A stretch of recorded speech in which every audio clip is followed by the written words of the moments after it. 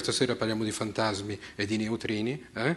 con Lucia Votano. Lucia Votano, due parole per, come consuetudine per presentarvi il nostro ospite, calabrese di nascita, si laurea in fisica all'Università di Roma La Sapienza, comincia la sua attività di ricerca con l'Enea, l'ente nazionale per l'energia atomica, e poi successivamente dove ha fatto tutta la sua carriera presso l'Istituto Nazionale di Fisica Nucleare, eh, precisamente nei laboratori nazionali di Frascati, dove è stata accurato il servizio di informazione scientifica e ha avuto l'incarico di uh, dirigere la divisione di ricerca del, del, del laboratorio. È un fisico sperimentale, come tale ha partecipato a importantissimi eh, esperimenti nei laboratori più importanti del mondo, quali il CERN, il DESI, il uh, Frascati ovviamente, ed è stata direttore dei laboratori nazionali di Gran Sasso dal 2009 al 2012. Eh, presso, per quanto, diciamo così, lei è partita come ricerca nelle onde, nella, nella, fisica delle particelle elementari, fisica delle arti energie, quella che una volta si chiamava fisica con gli acceleratori, ma che oggi comincia a non essere più vero, come ci racconterà forse anche lei, perché la fisica delle, delle particelle elementari ormai sta facendo una transizione anche verso la cosmologia. Lei infatti da molti anni si occupa di questo settore, lavora in questo settore, che si chiama Astroparticle Physics physics, fisica astroparticellare, che è proprio, se vogliamo, il trade union tra la fisica dell'infinitamente piccolo e la, e la, fisica dello spazio. Ha partecipato all'esperimento LVD, che studiava i collassi stellari galattici, ROG, per la ricerca di onde gravitazionali, e Opera, per le oscillazioni di neutrini. È stata membro di, membro di importantissimi comitati internazionali a ricerca scientifica e ha, e, ha, e ha, ricevuto numerosi premi e onorificenze, tra le quali quella di Commendatore della Repubblica, se è stata insignita dal Presidente napoletano. Bene, io credo che sia tutto, vi lascio nelle mani sue con i fantasmi e con i neutrini. Buona serata.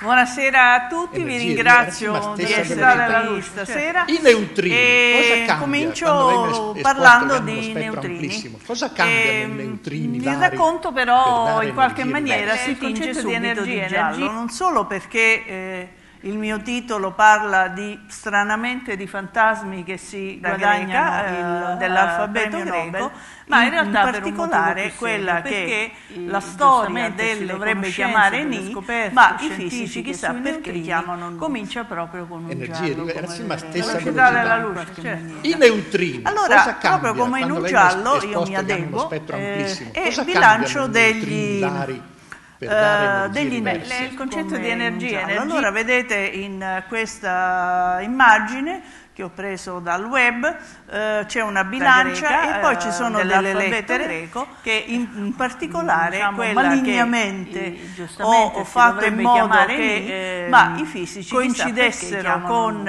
il carattere del mio cognome, ma non è una V, ma è, bensì è una lettera greca eh, dell'alfabeto greco in, in particolare quella che giustamente si dovrebbe chiamare Ni, ma i fisici chissà perché chiamano Nu. Ebbene, questo simbolo è proprio il simbolo del neutrino, perché ogni particella elementare c'è il suo simbolo, una sua lettera che lo rappresenta.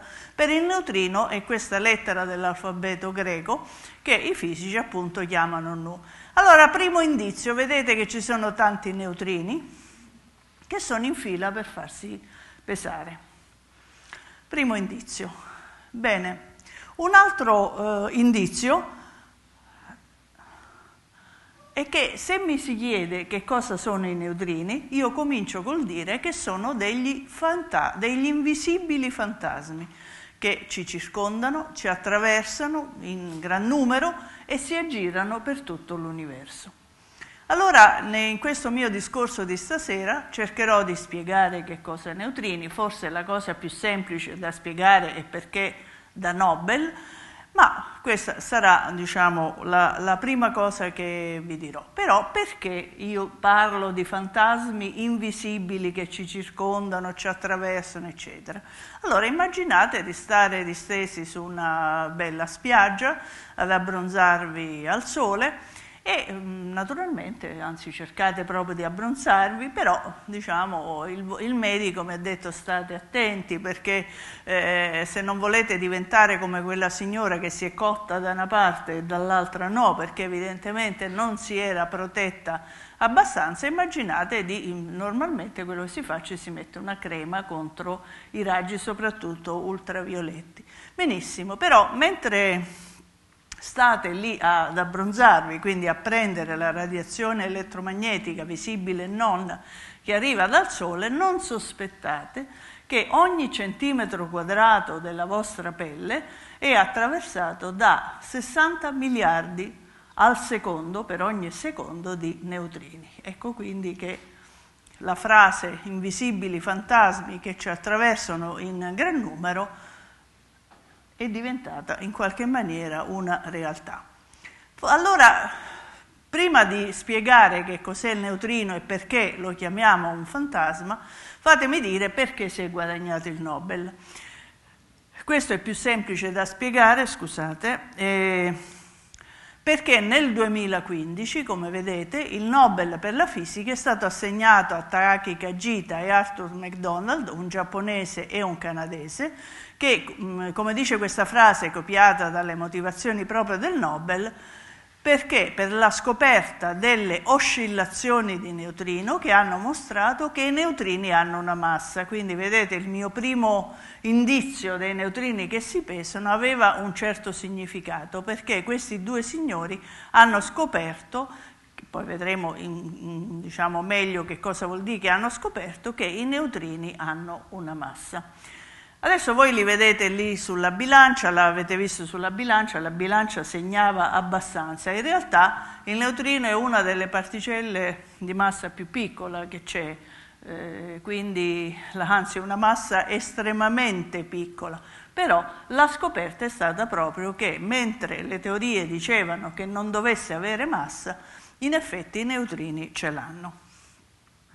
Adesso dove hanno, eh, dove hanno, lavorato questi signori? Il canadese ovviamente ha lavorato in Canada, in un laboratorio sotterraneo. Vedete, questa è una mappa dei laboratori sotterranei nel mondo. Eh, questo ha lavorato in Canada, eh, Arthur McDonald, mentre il giapponese ovviamente, no, no, ovviamente, ma insomma ha lavorato in un laboratorio giapponese che si chiama eh, Kamioka, molto famoso tra i fisici. Giusto eh, insieme a tutti gli altri laboratori sparsi per il mondo, ho messo in evidenza in particolare il laboratorio del Gran Sasso, che è la nostra gloria nazionale, perché ancora oggi a più di 30 anni dalla sua concezione e dall'inizio della sua costruzione, è ancora il più grande e il più importante dei laboratori di questo tipo al mondo. Adesso cercherò invece di spiegarvi che cos'è il neutrino e cosa sono le oscillazioni dei neutrini.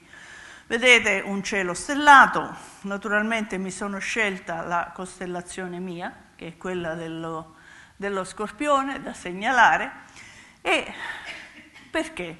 Perché credo che per rispondere alla domanda di che cosa siano i neutrini, in qualche maniera bisogna rifarsi a domande antiche come l'uomo, perché io penso che anche gli uomini più antichi, appena hanno preso consapevolezza di sé, magari guardando il cielo stellato, si sono chiesti ma cosa c'è in cielo, di che cosa è fatto quello che adesso chiamiamo eh, uni, eh, universo ha avuto un'origine, è nato in un certo istante, oppure è immobile, è sempre stato lì, viene infinitamente, infin- vive in un infinito presente, oppure invece ha un'evoluzione, non è qualcosa di immobile, ma un'evoluzione, quindi quale sarà il suo destino futuro? Ecco, queste sono domande antiche con il mondo, però queste domande sono le stesse che in questo momento e sempre si sono posti anche i fisici e vi farò vedere che nello spiegare che cos'è il neutrino, in sostanza sto rispondendo a queste domande. L'altra domanda fondamentale che si sono fatti sempre gli uomini è di che cosa è fatto il mondo. Vedete, questa è una statua famosa di Rodin, il pensatore. Mm, chissà, eh, dice che questa statua rappresenta Dante, davanti alle soglie del, dell'inferno. Secondo me è invece il simbolo del mestiere del fisico, perché che cosa fa il fisico? Cerca di rispondere proprio alla domanda di che cosa ha fatto il mondo. E soprattutto chi fa ricerca fondamentale, cioè pilotata solo dalla curiosità di conoscere la realtà, quindi per me questo è il simbolo del mestiere del, del fisico. Ebbene, se volete, facendo la domanda in altro modo, se io guardo, vedete qui c'è il sole, il cielo stellato, un grande animale, un elefante, un microbo, un virus, adesso non mi ricordo, e la domanda è che cosa hanno in comune? Vedete, queste domande se le sono poste anche i filosofi antichi, a partire da centinaia di anni eh, prima di Cristo, quindi effettivamente sono domande molto antiche. Se volete, possiamo fare questa domanda in senso moderno in una maniera un po' diversa. Se io ho a disposizione un microscopio di cui posso variare la risoluzione in maniera infinita, cioè sempre di più man mano che io voglio, e lo punto su un oggetto qualunque, che cosa vedo mm, qui? Oppure anche se potessi sul, sul Sole o su una stella. Cosa vedrei? Bene, supponiamo che guardi per esempio la mia mano, vedrò il tessuto della pelle, poi vedrò le molecole che, fanno, che costituiscono la mia pelle, dopo le molecole ci sono gli atomi, gli atomi a loro volta i nuclei e così via. Ma la domanda che anche i filosofi presocratici si ponevano, la domanda è, è eh, la materia è continua o discreta. Che cosa vuol dire? Cioè io posso variare continuamente eh, la risoluzione di questo microscopio e continuare a vedere pezzi sempre più piccoli, oppure a un certo punto arrivo a quelli che potrei chiamare i mattoni fondamentali della materia. Cioè la materia appunto è, è continua o discreta. Bene, i filosofi naturalmente avevano le loro idee basate sulla teoria. C'era chi, chi, sosteneva che la materia fosse continua, quindi che io potessi dividerla in pezzi sempre più piccoli, sempre più piccoli in maniera infinita, eppure invece c'era Democrito, che è uno dei presocratici, che disse no, la materia è discreta. A un certo punto io incontro dei dei mattoni fondamentali che lui chiamò atomi, proprio perché in greco atomo vuol dire indivisibile, e tutto ciò che ci circonda è fatto, è costituito a partire da questi atomi. Bene, ma loro erano filosofi, ancorché cercassero di, eh, diciamo, si cominciava a vedere l'alba della, della scienza, nel senso della capacità di astrazione dalla realtà, di, di, di costruire una teoria, ma in realtà le risposte a queste domande dobbiamo aspettare il 1600 per cominciare a darle in modo scientifico. Perché il 1600? Perché nasce un grande uomo, che ovviamente riconoscete Galileo Galilei, ebbene c'è una data che secondo me andrebbe insegnata nelle scuole allo stesso modo come la scoperta dell'America, la data della scoperta dell'America, che è il 1610, perché in quell'anno Galileo pubblica il Sidereus Nuncius. Galileo era stato appunto a Padova, aveva insegnato a Padova, eh, qui a Padova aveva conosciuto, non l'ha inventato lui, uno strumento che era il cannocchiale, che lui cominciò, come diremmo oggi, a ingegnerizzare in un certo senso. Bene, poi tornato a Pisa, eh, più o meno poco prima della pubblicazione di questo libro, il Sidereus Nuncius, lui fa una cosa rivoluzionaria. Invece che puntare il canocchiale per guardare le belle ragazze della casa di fronte, come facevano alcuni, ebbe la bella idea di puntare questo canocchiale al cielo. E che cosa ha visto di così rivoluzionario, che ha cambiato completamente il pensiero dell'uomo in maniera estremamente profonda? Beh, lui si accorge di una cosa fondamentale, che Giove ha i pianeti, che la Luna è fatta, non è perfetta come nel sistema tolemaico aristotelico ci diceva che la Terra è al centro dell'universo, è l'unica cosa che di materia caduca, di materia imperfetta, mentre tutto il resto sta in queste sfere celesti di materia etereo e perfetto e immortale. Bene, no, lui invece si accorge che la Luna, i pianeti, eccetera, sono fatti della stessa materia di cui è fatta la Terra. Quindi in un solo istante, come io dico, la Terra perde la sua centralità non solo dal punto di vista geografico, perché non è il centro intorno a cui ruota il Sole, ma non è solo quello, e perde la sua centralità dal punto di vista del pensiero, del concetto, della filosofia, della religione, di tutto. Adesso addirittura sappiamo che la Terra non è che uno dei pianeti di una stella che sta alla periferia di una galassia e che questa galassia non è una che dei miliardi di galassie che ci sono in tutto l'universo a noi accessibile, quindi altro che centro di tutto, siamo diciamo alla periferia, anche se in realtà non è corretto dire, perché nell'universo non c'è un centro perché no, quando si dice che l'universo si espande non è che l'universo si espande nel vuoto, è lo spazio che si espande. Comunque questo lo vedremo anche tra un po'. Quindi questa è una data fondamentale. E Galileo Galilei fonda in quel momento, diciamo, la, la cosa per cui poi lui è riuscito a convincere tutti di questo e ha così profondamente cambiato il pensiero umano, non è perché lui era più bravo a convincere gli altri eh, ma perché lui ha, provato, ha, ha portato le prove sperimentali. Se volete, tutto sta in questo strumento, il fatto che lui abbia usato uno strumento. Quindi lui ha fondato il metodo scientifico sperimentale. Le verità scientifiche sono quelle che vengono provate sperimentalmente e chiunque ripeta l'esperimento deve poter trovare gli stessi risultati e la scoperta, il senso di quello di un fenomeno che uno sta osservando si esprime in termini matematici. Questa è la scienza moderna, con poche varianti vi assicuro che ancora oggi noi usiamo il metodo galileiano. Bene, quindi che cosa ci dice la scienza moderna? Qui vado veloce perché sapete tutti, quello che l'atomo, si pensava l'atomo di Democrito, in realtà non è quello che noi ancora chiamiamo atomo, in realtà è tutt'altro che indivisibile perché è fatto da un nucleo, dagli elettroni, il nucleo è fatto di protoni e di neutroni, i protoni e i neutroni sono fatti di quark e così via, poi ci sono gli elettroni.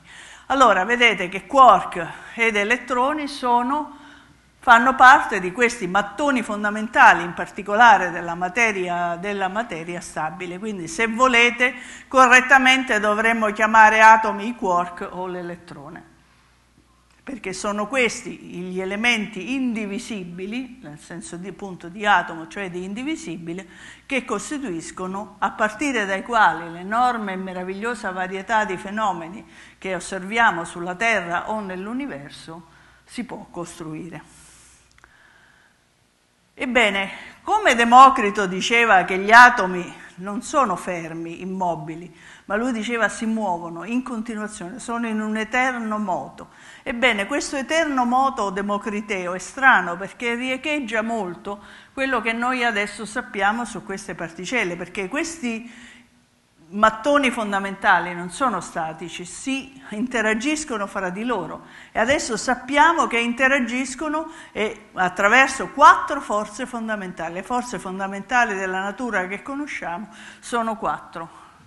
Naturalmente la più, quella meglio conosciuta è la forza gravitazionale, quella che, di cui poi sentirete anche eh, la meraviglia della scoperta delle onde gravitazionali, poi c'è la forza elettromagnetica che ovviamente anche ben nota, ma c'è un'altra forza molto importante che è quella che tiene i, eh, i quark dentro il protone e il neutrone, e se volete anche i protoni dentro il nucleo, che è la cosiddetta forza forte.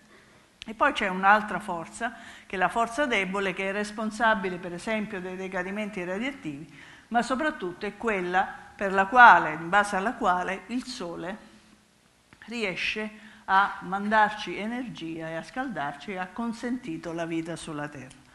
Bene, tutto quello che adesso i fisici hanno imparato proprio attraverso gli esperimenti, attraverso il metodo galileiano, adesso era chiuso in quello che chiamiamo il modello standard delle particelle e delle interazioni fondamentali. Allora vedete che abbiamo 12, chiamiamoli atomi, cioè particelle elementari. Elementari non nel senso che siano semplici o banali, ma elementari perché sono indivisibili. Sono i mattoni fondamentali. Abbiamo sei quark, sei leptoni, tra cui vedete c'è l'elettrone, un elettrone più pesante che si chiama muone, uno ancora più pesante che si chiama tau, e poi rivedete i simboli che stavano lì in fila a pesarsi sulla bilancia. Il neutrino E, il neutrino mu e il neutrino tau. Allora vedete che siamo arrivati, comincio a rispondere alla domanda che cosa sono i neutrini. I neutrini sono particelle elementari.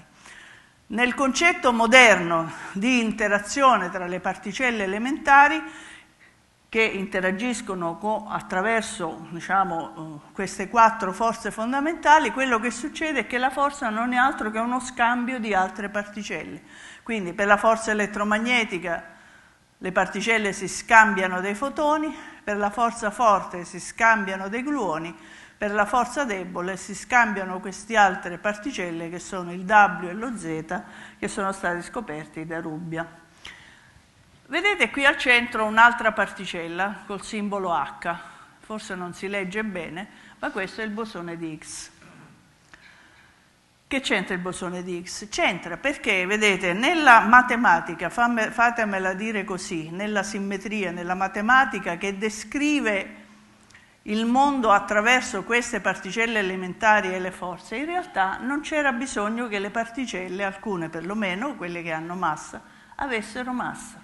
Quindi bisognava spiegare quale meccanismo aveva fatto sì che loro poi acquistassero massa, perché se non avessero massa non saremmo qui a discutere. Bene, negli anni 60 tre persone, che sono Higgs, Englert e Braut, inventano teoricamente una teoria, un meccanismo attraverso il quale le particelle possono acquistare massa. Si chiama il meccanismo di Higgs.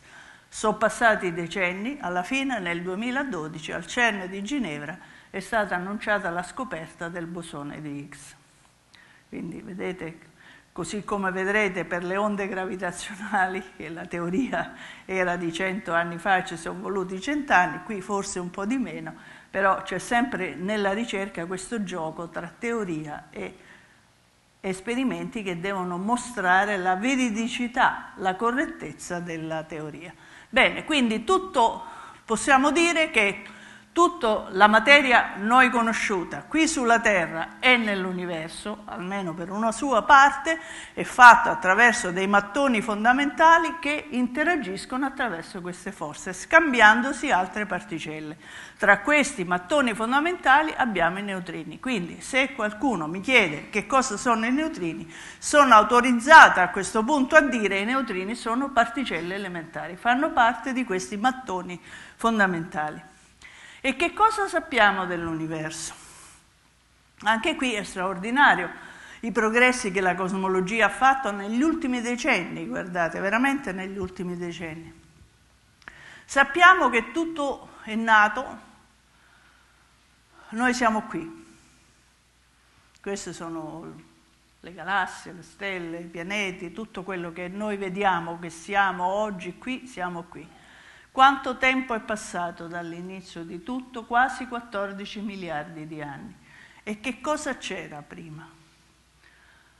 Dall'istante zero a 10 alla meno 43 secondi, è un numero piccolissimo perché dovete fare, scrivere 0, seguito da 42 zeri, siamo in una singolarità, in cui non ha senso neanche definire lo spazio e il tempo, in cui i fisici non sanno che, quali erano le leggi che potessero descrivere questa situazione. Bene, e in, questo, diciamo, in questi primissimi istanti, veramente frazioni di miliardesimi, di miliardesimi, di miliardesimi di secondo, le forze erano indistinguibili, le particelle erano indistinguibili. Improvvisamente intorno a 10 alla meno 35 secondi, vedete sono numeri piccolissimi, sono veramente neanche un battito di ciglia, improvvisamente è successo che da un punto adimensionale di enorme eh, energia e densità, improvvisamente c'è quello che i fisici chiamano l'inflazione, cioè che vuol dire che improvvisamente lo spazio si espande fino a diventare tutto l'universo e aveva le dimensioni di un melone, di un, di un pallone, insomma di, di, un oggetto molto piccolo, che però con, diciamo, racchiudeva tutto, tutta l'energia e tutto quello che adesso ritroviamo in maniera infinita qui, dopo 14 miliardi di anni. Piano piano le forze si cominciano a separare, prima si separa la forza gravitazionale, poi si separano le altre forze fondamentali, cominciano ad esserci i primi quark e sempre in questi primissimi istanti succede una cosa strana.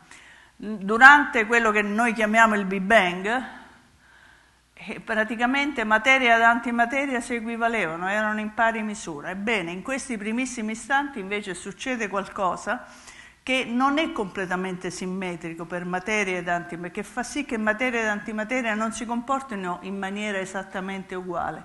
Questo sbilancia l'una rispetto all'altra. Da allora, per quello che sappiamo, l'universo è fatto tutto solo di materia, di quella che chiamiamo materia, e non di antimateria. Bene, poi cominciano a, intorno a microsecondi si formano i primi protoni e neutroni, intorno a 10 alla meno 11 secondi si crea il campo di Higgs. Praticamente lo spazio si riempie di questa specie di melassa che riesce a dare massa alle particelle. Vedete, qui perché, diciamo, se volete è un po' strano che io da una parte parlo dell'infinitamente piccolo, di questi mattoni infinitesimi che costituiscono tutta la materia, dall'altra parlo dell'universo. Perché? Perché sono fatti della stessa cosa.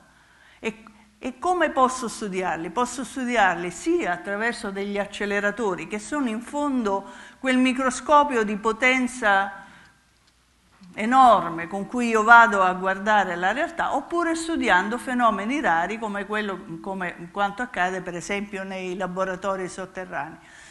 Improvvisamente c'è una cosa importante, vedete qui, questo è il limite praticamente in cui valgono, cominciano a valere le leggi della fisica che noi conosciamo adesso e quindi è lì dove io posso studiare usando gli acceleratori tipo uh, l'LHC.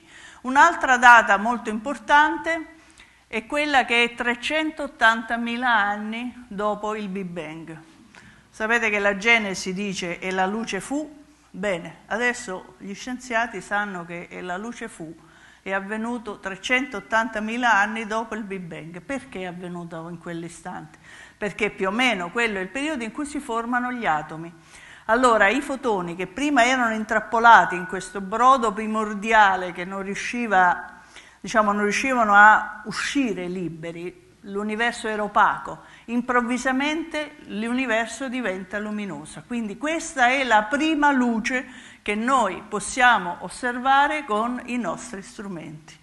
Guardando le stelle, noi guardiamo oggetti che se sono vicini diciamo, sono abbastanza, alla loro posizione adesso è abbastanza simile a quella di, diciamo, di adesso. Io più lo, siccome la luce ha una velocità finita, che cosa vuol dire questo? Vuol dire che io più in là riesco a vedere, il mio strumento è talmente sensibile che riesco ad andare molto lontano, a galassie molto molto lontane, e siccome la luce però ci ha impiegato un certo tempo per arrivare sino a me, vuol dire che io faccio un anche un viaggio nel tempo e quanto posso andare indietro nel tempo con i, con i miei strumenti fino a vedere questa prima luce. Per andare più indietro a, a, ad osservare quello che è successo nel Big Bang, devo usare degli acceleratori o altre particelle che in qualche maniera sono nate e si sono liberate prima della luce.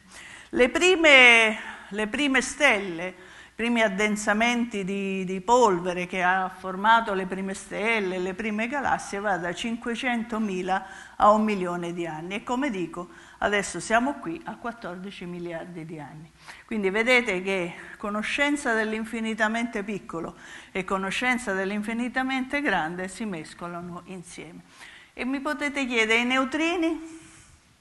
Quando è che la Genesi avrebbe dovuto dire e il neutrino fu invece della luce? Allora qui ho riassunto, l'età dell'universo sono 13,8 miliardi di anni, la prima luce 380.000 anni, le prime stelle dopo 500 milioni dal, dal Big Bang. Bene, a un decimillesimo di secondo dal Big Bang i neutrini sono apparsi nell'universo. Trascorso un secondo, l'universo si era leggermente raffreddato in maniera tale che essi potessero hanno potuto diciamo, muoversi liberi nell'universo. Quindi, e, e il neutrino fu avvenne praticamente intorno a un secondo dopo il Big Bang. E questi neutrini sono ancora lì.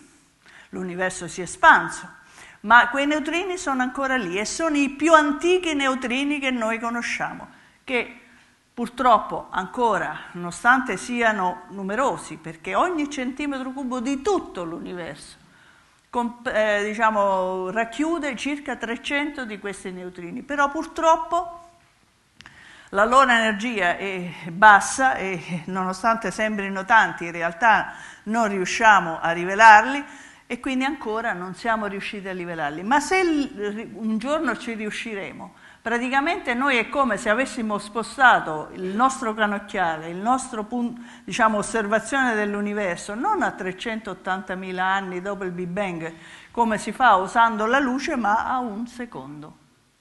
Quindi ci racconterebbero di quello che è successo un secondo dopo il Big Bang. Adesso, perché sono così importanti questi neutrini?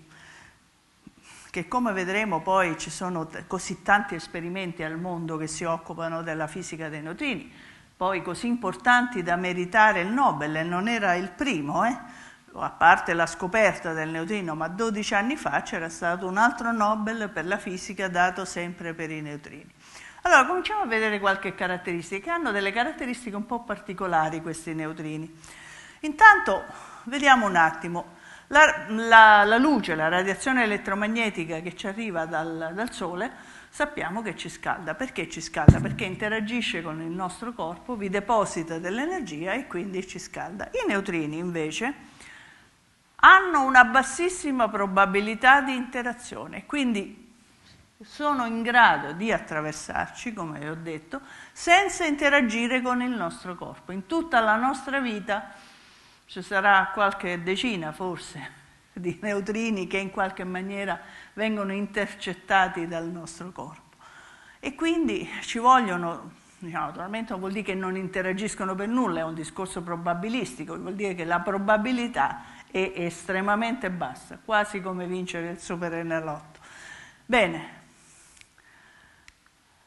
Ecco allora svelato perché nel mio libro io che ho chiamato il fantasma dell'universo è perché siamo autorizzati a chiamarli fantasmi dei neutrini. Ovviamente i fantasmi non esistono, ma è una analogia che serve un attimo per far capire questo particolare comportamento dei neutrini, questa scarsissima propensione ad essere intercettati dalla materia. Cioè, quindi come i fantasmi per passare da una stanza all'altra ovviamente non devono aprire le porte o le finestre, ma passano indisturbati, così i neutrini passano indisturbati.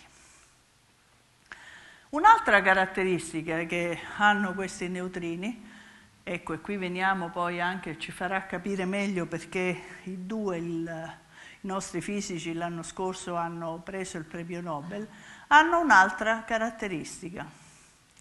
Voi avete visto che i neutrini sono di tre tipi, il neutrino elettronico, di tre sapori. Noi diciamo che hanno tre sapori, un po' come fossero tre cariche elettriche diverse. La carica elettrica sappiamo che convenzionalmente è positiva e negativa, quindi esistono due tipi di cariche elettriche.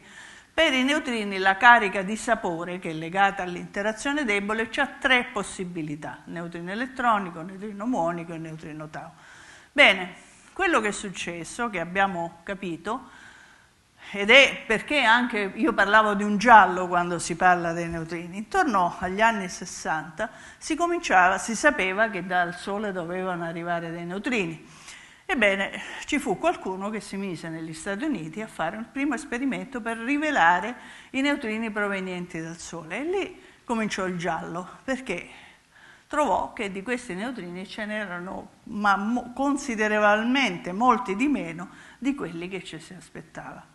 E lì iniziò il giallo, perché due erano le ipotesi. O la, quello che noi sapevamo del meccanismo de, del, dei, delle reazioni nucleari che avvengono intorno al Sole era talmente sbagliato che la nostra previsione era completamente sbagliata, oppure ai neutrini era successo qualcosa di particolare che ancora non conoscevamo. In realtà non è che non la conoscessimo, perché diciamo, l'oscillazione dei neutrini cioè questa capacità dei neutrini da trasformarsi da un tipo all'altro, perché qual è stata poi la soluzione del giallo? Il fatto che il Sole emette solo neutrini elettronici, il, quindi il rivelatore che era stato costruito sulla Terra era in grado solo di rivelare neutrini elettronici, ma se i neutrini nei dieci minuti che impiegano ad arrivare dal Sole fino alla Terra qualcuno di loro si era trasformato in un neutrino di un altro sapore, il rivelatore non li vedeva, quindi chiaramente ne misurava un numero, meno, un numero inferiore. Bene, questa capacità di trasformazione, di metamorfosi del neutrino è quello che i fisici chiamano il fenomeno dell'oscillazione. Vedete che però già qualcuno l'aveva prevista nel 1957, il nostro grande Bruno Pontecorvo. L'anno scorso i due fisici che hanno vinto il premio Nobel, se fosse stato ancora vivo Bruno Pontecorvo, in realtà il Nobel sarebbe dovuto andare a lui, così come il Nobel per la scoperta del bosone di Higgs non è andata ai 5.000 fisici che hanno, con i due esperimenti Atlas e CMS al CERN, hanno scoperto il bosone di Higgs, ma ai teorici, quelli due superstiti dei tre, che avevano inventato, teorizzato il meccanismo di Higgs e quindi l'esistenza del bosone di Higgs. Allo stesso modo, se lui non fosse morto, probabilmente il Nobel sarebbe dovuto andare a Bruno Pontecorvo. Bene, ecco perché allora, oltre ad essere dei fantasmi, hanno, diciamo che i neutrini hanno un carattere camaleontico perché amano confondere i loro osservatori, perché nascono diciamo, al momento in cui vengono creati nell'interno del Sole sono neutrini elettronici, poi alcuni di loro arrivando sulla Terra si sono trasformati per esempio in neutrini muonici. Adesso vedete che già abbiamo imparato parecchie cose sui neutrini. Sappiamo che il neutrino è una particella elementare, nel senso che abbiamo detto, è uno di questi mattoni fondamentali elettricamente neutra, però ha diciamo, tre sapori diversi, che sono il neutrino elettronico, il neutrino muonico e il neutrino tau. Ho detto che, forse non l'avevo detto, ma i neutrini e la luce, i fotoni, sono le particelle più diffuse nell'universo. Quindi vedete anche l'importanza di studiarli, perché diciamo, sono veramente sono più, miliardi di volte più numerosi di tutte le stelle che ci sono nell'universo, quindi è un numero veramente enorme. Ebbene, attraverso le oscillazioni, è attraverso le oscillazioni che si è capito che i neutrini hanno una massa. Adesso qui se volete seguirmi un attimo, ma non vi scoraggiate perché io vi ho parlato di questa oscillazione dei neutrini, vi ho fatto vedere quel cartone animato in un certo senso in cui un neutrino elettronico cammina cammina dal Sole sulla Terra e man mano che cammina si trasforma in un neutrino di tipo mu. In realtà per spiegare il fenomeno abbiamo bisogno della meccanica quantistica, è un fenomeno tipico della meccanica quantistica, questo dell'oscillazione dei neutrini.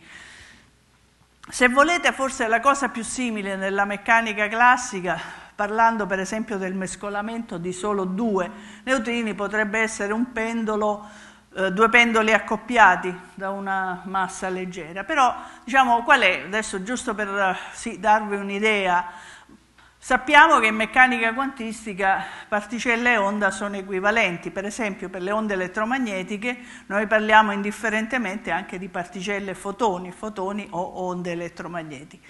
Bene, i tre neutrini, il NUE, il NUMU e il, e il NUTAU, possiamo pensarli come una mescola di tre onde diverse che hanno una massa definita. Allo stesso modo questi Nu1, Nu2 e Nu3, che sono neutrini di massa definita, sono una mescola di tre onde di sapore definito. Bene, che cosa succede? Che il sapore, il fatto che sia un neutrino elettronico, muonico e tau, viene, come devo dire, congelato, fotografato, deciso al momento della creazione, del momento in cui nasce, viene formato, viene creato quel neutrino oppure quando lo rivelo. Questo è proprio un discorso chiaramente da, da, da, da, fisica quantistica. Però mentre si propaga nello spazio e nel tempo il suo sapore non è definito. Allora che cosa succede? Che i tre neutrini che viaggiano nello spazio e nel tempo i tre neutrini di massa definita, siccome hanno una massa leggermente diversa, si muovono a velocità leggermente diversa, quindi quella che era una mescola all'interno per esempio del neutrino elettronico dei tre N1, N2, N3 in proporzione x, y e z, viaggiando nel tempo questa proporzione cambia e quindi magari quando arriva sulla Terra quel neutrino elettronico si è trasformato nella mescola che corrisponde al neutrino mu. Ebbene, è proprio attraverso questo fenomeno quindi che abbiamo scoperto che i neutrini hanno una massa, perché se non avessero massa questo fenomeno non, avrebbe, non potrebbe mm, essere, eh, diciamo, non, non poteva succedere. E quindi le oscillazioni dei neutrini hanno dimostrato che i neutrini hanno una massa. Vedete, è una cosa importante perché quel famoso modello standard delle particelle elementari e delle interazioni fondamentali con cui i fisici vi dicono abbiamo capito tutto, no? sappiamo tutto, sappiamo come è fatta la materia, è fatta attraverso questi mattoni fondamentali, queste sono le forze fondamentali, benissimo, eh, però guarda caso, il meccanismo di Higgs stesso, che dà la massa alle altre particelle, non prevede di dare massa ai neutrini. Allora, abbiamo appena dato, vedete com'è la scienza, è strana la ricerca, abbiamo appena dato il Nobel alla scoperta del bosone di Higgs, al modello che era la ciliegina che mancava, l'elemento mancante di tutto questo castello del modello standard delle particelle elementari, e già scopriamo qualcosa, il fatto che i neutrini abbiano massa, non previsto dal modello standard, che ci dice che bisogna ampliare questo modello standard. Non è l'unico elemento, ma è uno degli elementi che, come al solito, ci dice che la ricerca non si può mai fermare, non, non possiamo mai dire abbiamo capito tutto, perché poi c'è qualcosa, sempre viene fuori qualcosa che non si spiega, per cui quel modello va ampliato, cioè non vuol dire che non sia vero, ma rimane vero in un ambito più ristretto. Abbiamo bisogno di aprire una finestra e guardare un po' più in là. Allora, se esistono le oscillazioni dei neutrini, allora i due che hanno preso il Nobel, appunto dicevo, sono il canadese Art MacDonald, che ha avuto diciamo, il merito di, diciamo così, di scoprire le oscillazioni tra il neutrino E e il neutrino mu. E questo tipo di oscillazione è quello tipico proprio dei neutrini solari.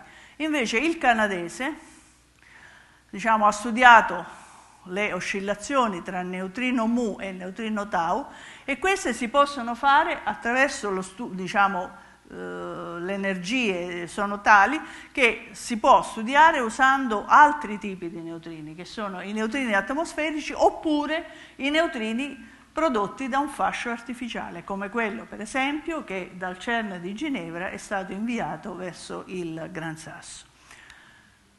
Allora, però per capire bene qual è stato il contributo di questi due illustri fisici e perché abbiano meritato il Nobel, forse conviene un attimo eh, ripercorrere come si è arrivati a questa scoperta, perché è molto istruttivo anche per capire come procede la scienza.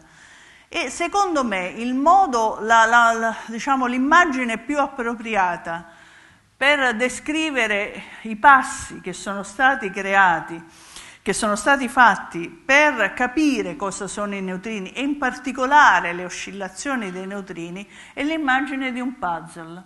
Un puzzle però di cui quando chi ci ha venduto la scatola con le tessere si è scordato di darci la scatola, non abbiamo il disegno di come di, deve diventare il puzzle. Ci hanno dato le tessere, ma non sappiamo qual è la figura che deve essere rappresentata. E quindi i fisici hanno dovuto mettere delle tessere una dietro l'altra, una dietro l'altra, finché proprio come in un puzzle si è chiarito il disegno. Vedete che non a caso qui mancano delle tessere, perché il puzzle in realtà non è ancora finito e quindi ancora abbiamo da imparare. Bene, allora abbiamo visto che Art McDonald ha vinto il Nobel, si è guadagnato il Nobel per le oscillazioni studiando i neutrini solari. Perché il Sole, vi ho detto, emette miliardi, decine di miliardi al secondo di neutrini che ci attraversano per ogni centimetro quadrato della nostra Terra? Perché il Sole è una stella. La stella non è altro che, come tutte le stelle, non è altro che una centrale nucleare a fusione invece che a fissione. Le centrali nucleari che noi usiamo per l'energia sono quelle che scindono gli atomi pesanti di uranio, per esempio, in frammenti più leggeri. La fusione fa il contrario. Nel Sole ogni secondo centinaia di milioni di tonnellate di idrogeno si fondono, quattro atomi di idrogeno si fondono a formare un atomo di elio.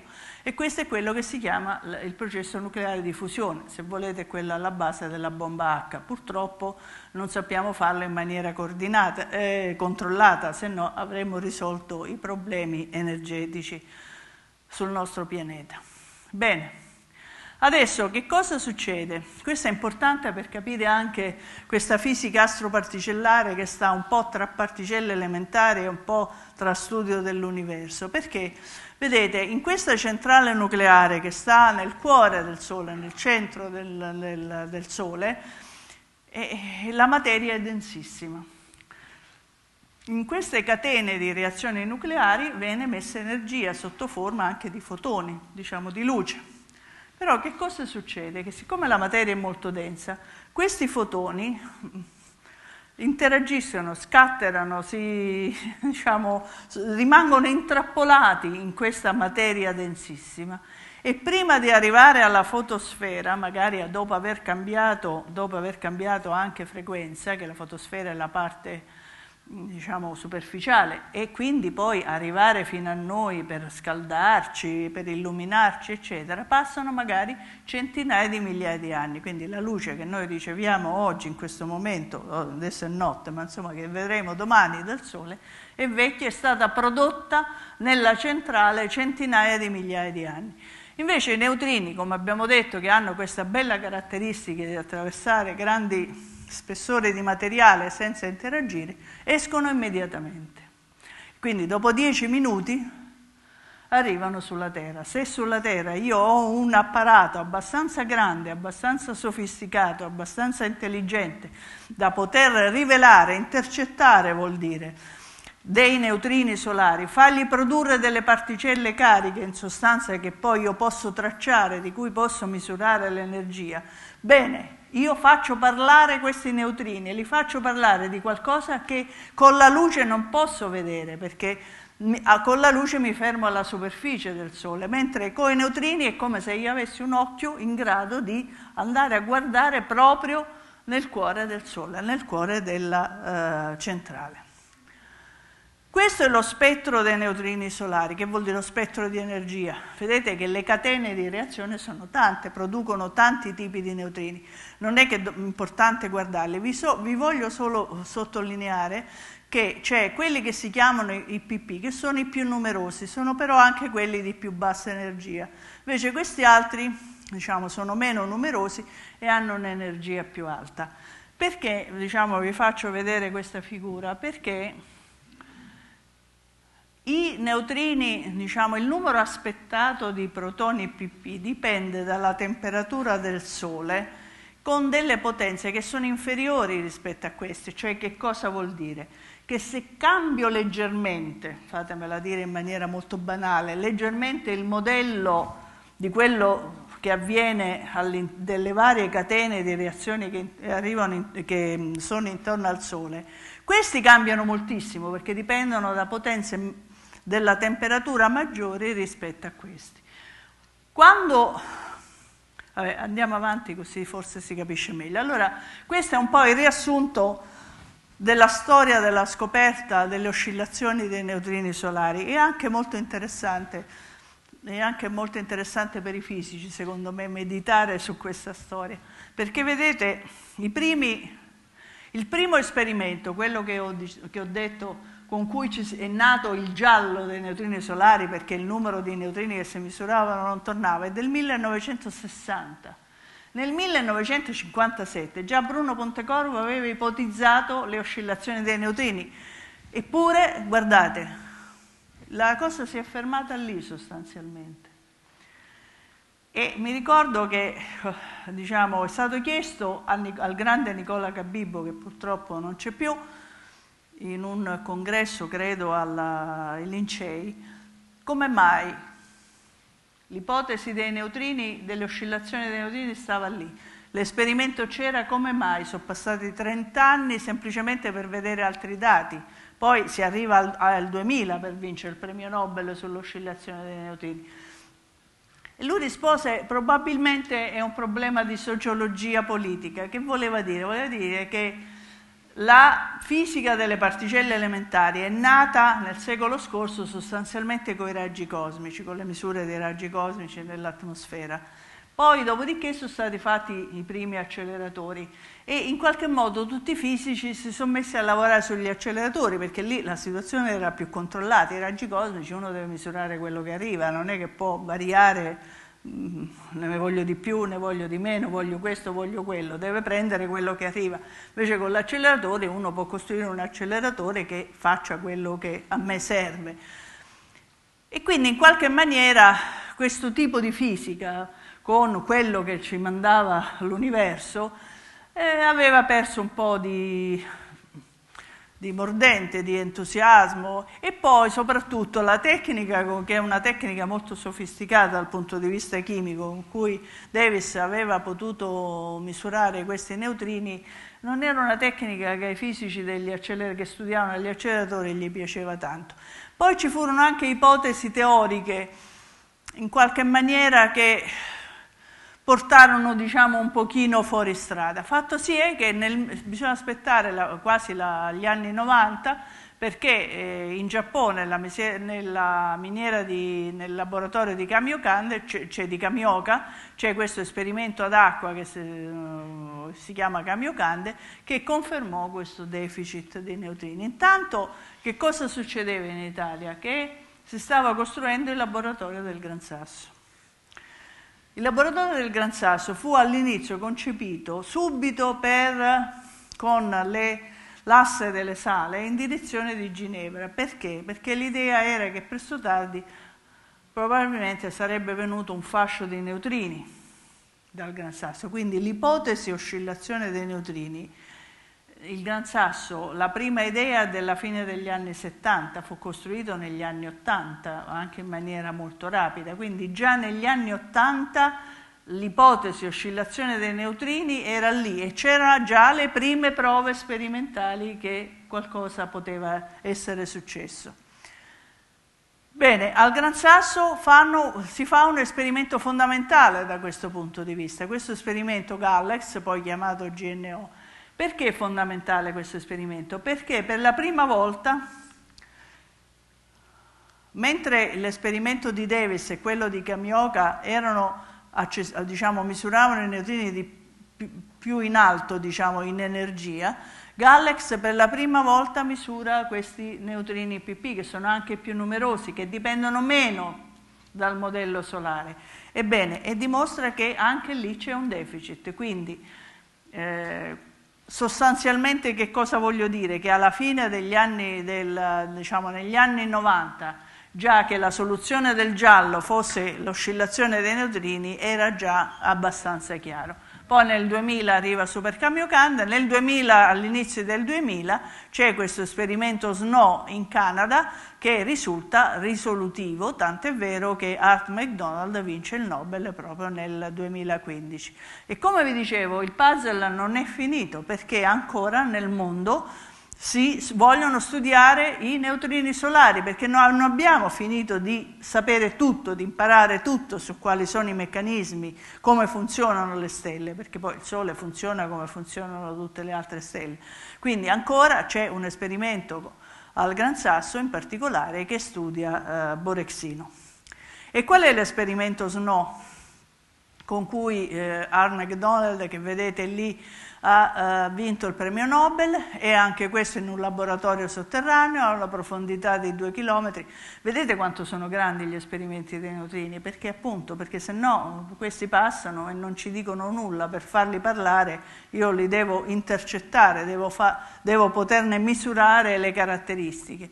Quindi è una sfera di quasi 18 metri di diametro, piena di deuterio, di acqua pesante, all'interno di, di, una, di, una, sfera uh, di, di, di, materiale acrilico vista da ben 10.000 fotosensori che noi chiamiamo fotomoltiplicatori. Perché è stato risolutivo l'esperimento di, di. McDonald? Perché era in, a differenza degli altri esperimenti era in grado di misurare con la stessa efficacia, con la stessa diciamo, sensibilità tutti e tre i tipi di neutrino. Allora, i neutrini elettronici saranno anche stati di meno perché durante il viaggio si erano trasformati in neutrino mu, però se io li misuro tutto vedo poi alla fine i conti tornano, quindi la soluzione è stata proprio definitivamente quella delle oscillazioni dei neutrini. Bene, ho rimesso questa per ricordare che l'altro premio Nobel invece riguarda lo studio delle oscillazioni tra i sapori muonico e tauonico, come noi diciamo, che si può fare o con i neutrini atmosferici o con gli acceleratori. Che vuol dire i neutrini atmosferici? Voi sapete che la Terra è costantemente bombardata, l'atmosfera il, diciamo, da, arrivano dal, dalla nostra galassia, ma anche da fuori dalla nostra galassia, dei raggi cosmici primari, sostanzialmente al 99% sono protoni, che impattando sull'atmosfera producono degli sciami di altre particelle. E la pioggia incessante di raggi cosmici che anche questa ci, ci, diciamo, ci, ci colpisce e che eh, non si vede, però basta mettere uno strumento e ce n'è diciamo, anche a scopo didattico vari in giro che proprio fanno vedere questa pioggia incessante di particelle che sono i raggi cosmici secondari. In mezzo a questi ci sono i neutrini e questi sono i neutrini atmosferici. L'altro modo per studiare questo tipo di oscillazione tra neutrino mu e neutrino tau è attraverso un fascio artificiale. Vedete, questo è il fascio, il CNGS, CERN neutrino Gran Sasso, cioè i neutrini erano prodotti dal complesso di acceleratori del CERN, indirizzati sotto la crosta terrestre per un percorso di circa 700 km, indirizzati verso il Gran Sasso, dove poi c'era un esperimento di nome Opera che era stato concepito proprio per misurare questi eh, neutrini. Bene, anche qui c'è un po' di storia. Qui la storia è anche più complicata dal fatto che mentre per i neutrini solari in fondo non c'erano dubbi sperimentali, qui si mescolarono anche del fatto che ci sono state delle incertezze anche sperimentali, degli errori un po' di analisi in un certo senso all'inizio di questo. Comunque, anche questo è istruttivo, questa, diciamo, conoscere questa storia. Innanzitutto perché uno si era messo a studiare i neutrini atmosferici? Perché negli anni Ottanta le teorie di grande unificazione delle forze prevedevano che si potesse, che, diciamo, che fosse accessibile da grossi apparati il misurare il decadimento del protone era un evento talmente raro che i neutrini atmosferici avrebbero costituito una specie di disturbo, di rumore e quindi era importante misurare il flusso di questi neutrini atmosferici. Ecco perché negli anni Ottanta ci fu questo interesse a misurare i, i, i neutrini i muonici atmosferici. Allora vedete anche qui, Macro è stato il primo esperimento che ha cominciato nel Gran Sasso, già nell'87 in realtà aveva cominciato a prendere i primi dati, diciamo che comincia nell'89. e i, i primi sintomi che il flusso dei, dei neutrini muonici atmosferici ancora una volta non tornasse rispetto alle teorie c'era stato negli anni Ottanta. Poi, eh, alcuni, eh, però questi esperimenti usavano delle tecniche diverse, quindi non si capiva se era un problema di diverse sezioni d'urto, eccetera. Comunque, eh, nel, mm, siccome, ripeto, l'ipotesi oscillazione era sul tavolo, era sul tavolo per i neutrini solari, ma era sul tavolo anche per i neutrini atmosferici, nel, intorno al 92-93, quando Rubbia era eh, direttore generale del CERN, come adesso è Fabiola Giannotti, lui riprese l'idea eh, eh, di fare un fascio di neutrini dal CERN di Ginevra verso il Gran Sasso, che era stata un po' alla base anche della, della creazione, della costruzione del laboratorio del Gran Sasso. Però anche qui un po' fuorviati da, da, alcuni teorici, un po' per altri motivi sociologici, in realtà, mentre il primo progetto esecutivo già nel 93 era pronto, il fascio è stato approvato nel 99. Guardate però, nel 99 che cosa succede? Nel 98 anzi, la scoperta, quella che ha, ha, fatto sì che poi Gagita meritasse il Nobel nel 2015, è del 98 e questa scoperta è stata annunciata in un eh, congresso in Giappone, che si svolgeva in Giappone in quell'anno, in cui appunto arrivò Kajita a eh, dire che l'andamento angolare dei particelle che eh, diciamo, si facevano risalire ai, ai, neutrini atmosferici aveva un andamento tale che poteva essere spiegato solo con le oscillazioni dei neutrini. Benissimo, in quello stesso congresso, vi assicuro, che c'era un'altra persona dell'esperimento macro che presentò sostanzialmente gli stessi risultati. Anzi, il parametro delle oscillazioni che aveva dato macro erano diciamo, più giuste poi alla luce di quello che si è saputo dopo rispetto a quello di Super Kamiokande. La domanda è perché il Nobel? Perché il Nobel è stato dato ai giapponesi e non a quelli dell'esperimento macro? E perché si pagano, si pagano le incertezze, si paga anche il fatto che un pochino l'esperimento macro aveva dei dati meno buoni, erano diversi, diciamo, l'esperimento era di tipo diverso e la qualità dei dati era inferiore, però c'era stata anche un'incertezza all'interno della collaborazione. Io vi racconto queste cose perché diciamo, è sociologia della scienza, Voi, perché uno immagina che una scoperta è qualcosa che improvvisamente compare all'improvviso, qualche volta capita e ci sono delle scoperte inaspettate, però normalmente è un processo faticoso. Ebbene, eh, avevano avuto delle discussioni nella collaborazione, che era una collaborazione tra, sostanzialmente tra italiani ed americani, e molti del, dei membri della collaborazione non erano convinti dei dati, della spiegazione delle oscillazioni.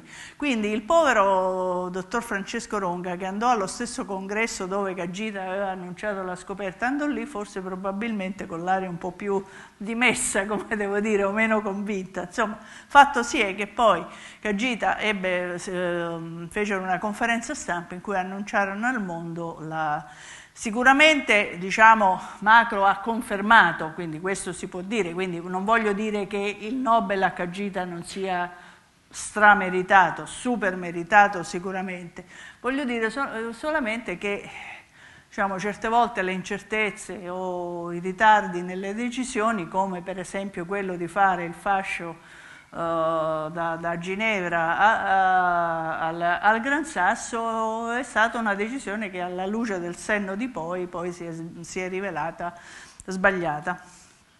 La storia, anche qui il puzzle continua, e nel 2015 l'esperimento Opera, che è quell'esperimento che misurava i neutrini provenienti dal CERN di Ginevra, ha dato la prima prova diretta dell'oscillazione. Che vuol dire la prova diretta? Che ha misurato i neutrini trasformati.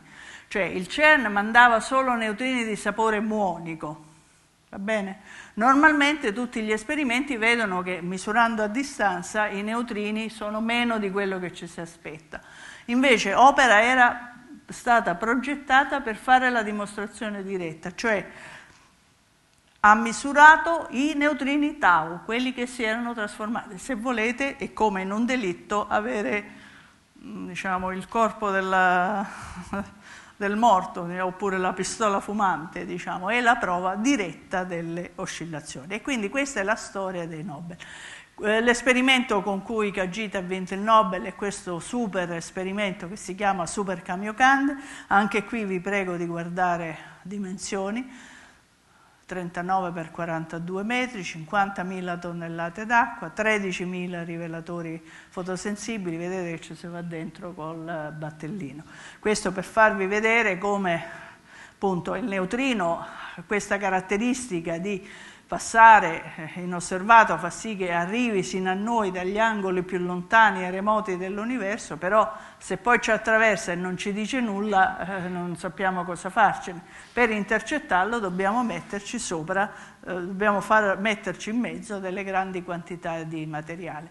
Quindi questa era la storia delle oscillazioni dei neutrini, ho cercato di spiegarvi anche che cos'è, spero di essere riuscita, che cosa sono i neutrini, però volevo anche darvi un accenno molto rapido a altro, quali altri tipi di neutrini esistono, da dove altro vengono questi neutrini.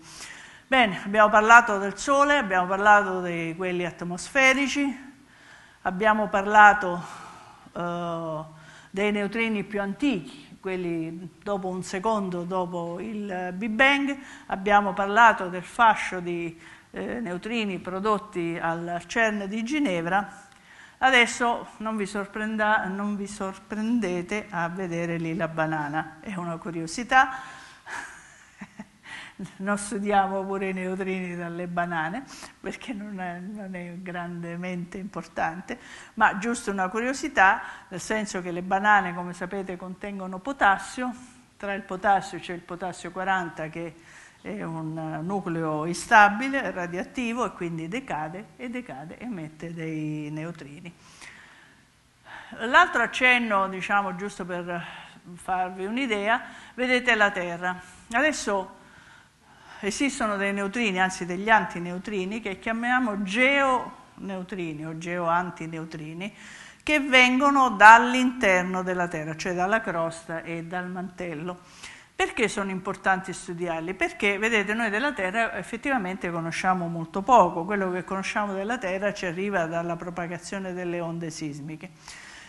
Però sappiamo che la Terra è calda e non è solo calda perché 4 miliardi di anni fa, quando si è mh, creato il sistema solare, quella era un magma mh, caldissimo per cui eh, continua a raffreddarsi ma in qualche maniera continua a mantenere parte del suo calore, non ne produce del calore. Come fa a produrre calore la Terra? Lo produce attraverso il decadimento di eh, eh, nuclei radioattivi di uranio, torio e potassio, che sono sia nella crosta che nel mantello terrestre, che decadendo emettono energia e scaldano la Terra. Ancora una volta in questo decadimento vengono emessi dei neutrini. Ebbene, ci sono stati recentemente, insomma, nel, eh, non, parliamo di, di, una storia antichissima, ma della, delle scoperte più recenti, ci sono solo due esperimenti al mondo in grado di misurare questi antineutrini che vengono dalla Terra. Uno sta al Gran Sasso ed è sempre Borexino, lo stesso che misura i neutrini solari, e l'altro è in Giappone. Adesso se noi riuscissimo a creare una rete di rivelatori di, capaci di misurare i, questi antineutrini che vengono dalla Terra, potremmo imparare di più sul meccanismo di produzione e trasporto del calore all'interno della Terra che poi è alla base dei movimenti tettonici e vulcanici. Quindi ancora una volta i neutrini sono delle sonde come degli occhi nuovi, degli strumenti nuovi per andare a vedere lì dove la luce o altri strumenti non riescono a dare informazione. Poi ci sono questo che cos'è? Questo è un collasso stellare. Quando muore una stella, come dico, l'ultimo sospiro è fatto di neutrini. Perché? Eh, sapete che il fenomeno della supernova è il sintomo della morte di una stella. Quando una, una stella massiccia ha esaurito il combustibile, quindi non è più in grado di produrre energia attraverso questo processo di fusione, a un certo punto non, la gravità non è più bilanciata da questa produzione di energia, quindi la stella collassa su se stessa fino a raggiungere la densità e superare la densità nucleare, poi rimbalza, esplode in un certo senso e butta nello spazio tutti gli elementi sintetizzati all'interno della stella fino al ferro, ecco perché possiamo dire che siamo figli delle stelle, e questi, nella, negli ultimi 10 secondi di questo, circa 10 secondi di questo processo, viene messo anche una grandissima quantità di neutrini. E questa non è teoria, è realtà, perché nel 1987 c'è stata una supernova, non nella nostra galassia purtroppo, ma ai margini diciamo, della grande eh, nube di Magellano, la mille, cosiddetta 1987A, che ha, diciamo, in quel tempo c'erano esperimenti non così grandi come abbiamo adesso, un po' più piccoli, però ci sono stati tre esperimenti nel mondo che hanno misurato i neutrini, questo ultimo sospiro fatto di neutrini della stella che muore. E poi abbiamo, questo vedete, lì c'è un, un buco nero, c'è diciamo, un evento catastrofico, cosmico catastrofico, in cui diciamo, se io ho materia che viene risucchiata, le particelle sono, fatemela dire così, vengono accelerate, le particelle cariche, ma queste a loro volta nell'interazione producono anche dei neutrini. Quindi in questi eventi cosmici catastrofici che tipicamente coinvolgono un buco nero vengono anche emessi dei neutrini. Bene, vedete, questo lo dico anche perché quando sentirete la, la, parlare delle onde gravitazionali, e eh, sentirete dire che l'importanza della scoperta delle onde gravitazionali non sta solo nel fatto che le onde gravitazionali sono la prova in qualche maniera più diretta, della, anche se non, non, è che non ce ne fossero altre, della uh, veridicità della teoria uh, della relatività generale di Einstein, ma l'importanza è che le onde gravitazionali sono ancora una volta un nuovo strumento per studiare l'universo, tant'è vero che gli astrofisici non pensavano che esistessero dei sistemi binari fatti di due eh, buchi neri di quelle dimensioni come poi è stato scoperto. Quindi in qualche maniera sono un nuovo strumento per studiare l'universo. E che si aggiunge ai neutrini, perché vedete l'uomo uh, sin dall'inizio, prima a occhio nudo, poi col canocchiale, poi con strumenti sempre più sofisticati, guarda l'universo, le stelle, le galassie, eccetera, usando la luce che gli arriva da questi la luce in tutte le sue frequenze, quindi non solo visibile, X, eh, gamma, infrarosso, insomma tutte, tutte le, molte delle frequenze diciamo, possibili. E, però la luce poi, come abbiamo visto, interagisce abbastanza, quindi viene fermata dalle polveri, da questo, da quello, eccetera, oppure nascosta da altre galassie, eccetera. E invece i neutrini, appunto, grazie a questa loro caratteristica di percorrere grandi, attraversare grandi spessori di materiale senza essere fermati, riescono ad arrivare fino a noi e sono stati rivelati questi neutrini da questi eventi cosmici pochissimi anni fa, come vedremo al Polo Sud. Allora, adesso, anche con le onde gravitazionali, noi abbiamo uno studio a molti messaggeri, cioè l'universo ci manda molti messaggeri, fino a al secolo scorso studiavamo l'universo solo con uno strumento che era la luce, adesso siamo in grado di studiarlo con le neutrine e adesso siamo in grado di eh, studiarlo con, anche con le onde gravitazionali. E questo apre veramente un vaso di Pandora. Secondo me veramente in poco tempo impareremo moltissimo sul, sull'universo. Poi l'ultima cosa come dicevo, anche le centrali nucleari, questa volta a fissione, sono delle sorgenti di, eh, di molto intense di, eh, di, eh, di antineutrini.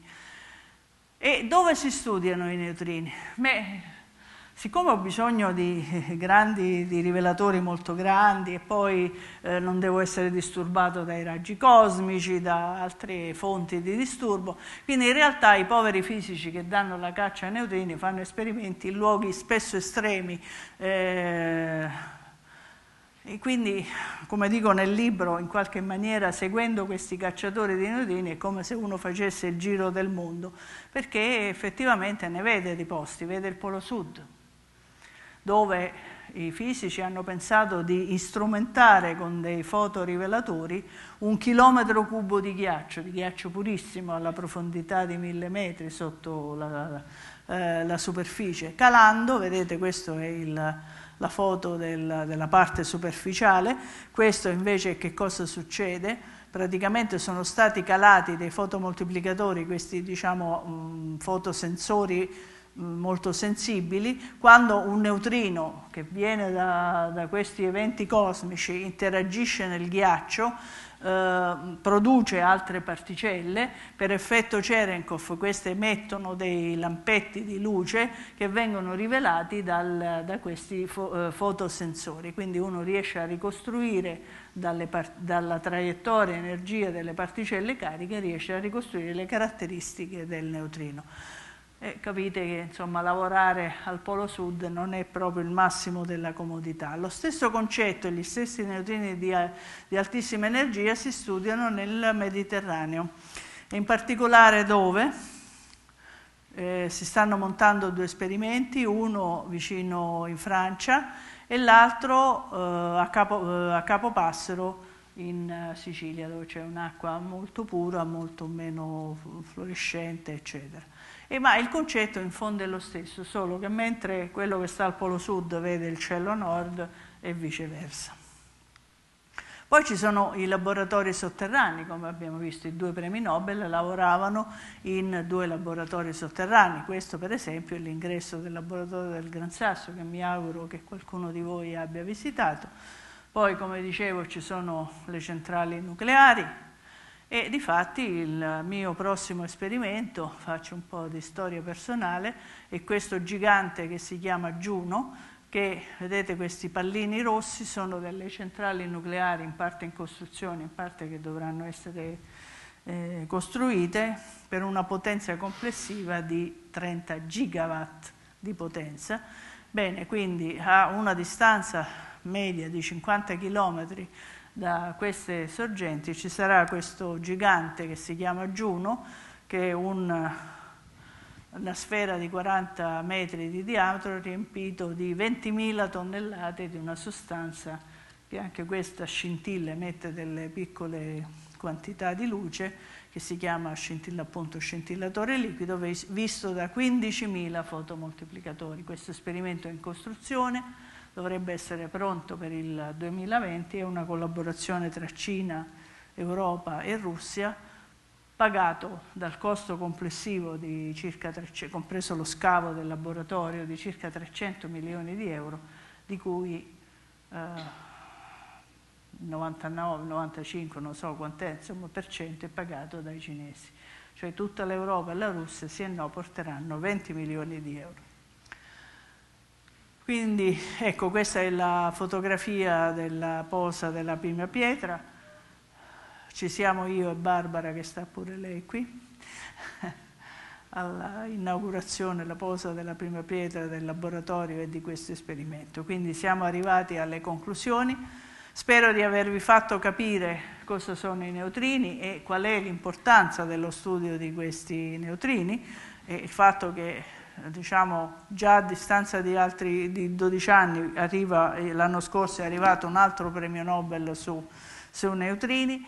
Le oscillazioni hanno dimostrato che i neutrini hanno massa e questo è importante perché vuol dire che il modello standard che ci sembrava la somma delle nostre conoscenze va già ampliato per tener conto di, del fatto che quanto non era previsto invece si è verificato, cioè che i neutrini hanno massa ma c'è ancora moltissimo da scoprire.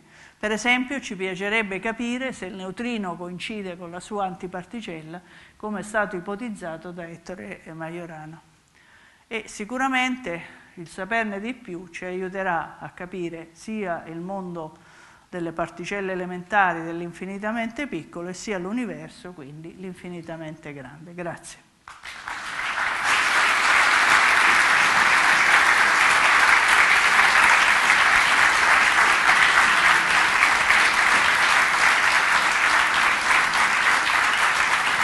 Troppo lungo? Sono tutti lì. Grazie Lucia, allora vediamo se ci sono delle domande, l'argomento potrebbe essere sicuramente... Michele ce n'hai uno davanti a te qui, una persona che vuole fare una domanda. Eh, forse non aveva direttamente a che fare con il neutrino, però parlando prima degli elementi che si formano nelle stelle, hai detto arrivano fino al ferro, no? Sì, come in genere sì. Avevo sentito dire che la formazione del carbonio aveva qualcosa di particolare, come, non mi ricordo bene l'argomento. Una... Beh, diciamo il carbonio è una molecola abbastanza importante per la vita, io adesso non sono espertissima, diciamo, però insomma quando dico... Cioè, eh, no, non tutto viene sintetizzato all'interno delle stelle, non tutti gli elementi e non, tutti, e non tutte le stelle arrivano al ferro, però diciamo gli elementi più pesanti dell'idrogeno, molti vengono sintetizzati all'interno delle stelle, poi con le supernove questi vengono buttati nel, nel, in giro e quindi eh, sono un po' come se uno seminasse nell'universo, diciamo in qualche modo, poi in particolar modo è importante il carbonio che è importante per la vita, quindi diciamo adesso... I neutrini delle centrali nucleari perché interessano? Perché sono una, diciamo, io per studiare i neutrini o uso quelli che vengono dall'universo, però appunto non è che posso dire ne voglio un po' di più, ne voglio un po' di meno. Quindi l'uomo si è inventato un modo per fare dei fasci artificiali di neutrini, o il fascio quello degli acceleratori che ha certe caratteristiche, però anche le centrali sono importanti perché sono una copiosissima sorgente di antineutrini. Adesso per esempio Giuno che cosa vuole studiare questo nuovo esperimento gigante?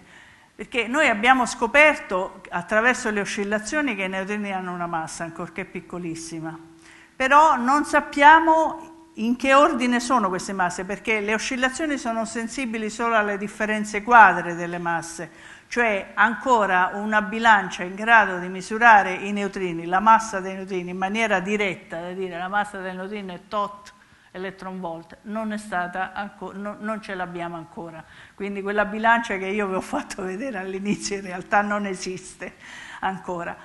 Però è importante sapere l'ordine, ci sono due ordini possibili. Ora, delle una delle possibili combinazioni l'abbiamo capita con i neutrini solari, l'altra ci manca. E questo è importante capire questo, perché questo aiuta anche a capire qual è il meccanismo che ha dato massa ai neutrini che ancora non conosciamo. E questo è lo scopo principale, uno degli scopi principali di questo esperimento. Poi sarà così grosso, sarà in grado di vedere i geoneutrini, se ci sarà un collasso stellare, e io sono convinta che nella sua vita il collasso stellare arriverà, perché ci dicono che nella nostra galassia ce ne dovrebbero essere due, tre ogni cento anni, adesso sono già parecchi decenni, nell'87 c'erano già gli esperimenti in grado di misurare eh, i neutrini provenienti dalle supernove. Al Gran Sasso c'è un esperimento LVD a cui io ho lavorato quando ero giovane, quindi figuratevi quanto tempo è che sta lì ad aspettare questa galassia, quindi, eh, questa supernova nella galassia, quindi io sono fiduciosa che Giuno la vedrà questa supernova. Qualcun altro ha qualche domanda? Sì. Da, casa non c'è nessuno? Qui ce n'è una, guarda. Mauro.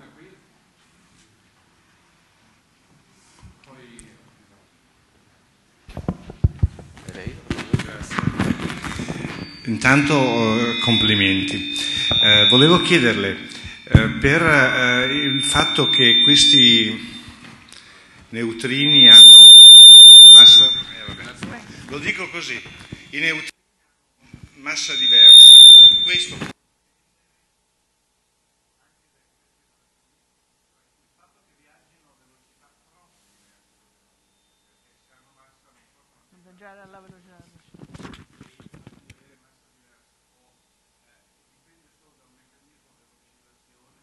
No, è viceversa, è proprio perché hanno massa diversa che ci può essere l'oscillazione. Capito? Eh sì, sono relativistici, certo, sì, sono relativistici ovviamente perché sono molto vicini alla velocità della luce, quindi sono relativi. Sì, leggermente diversa, però diciamo, quindi e tutti sono relativistici. Insomma.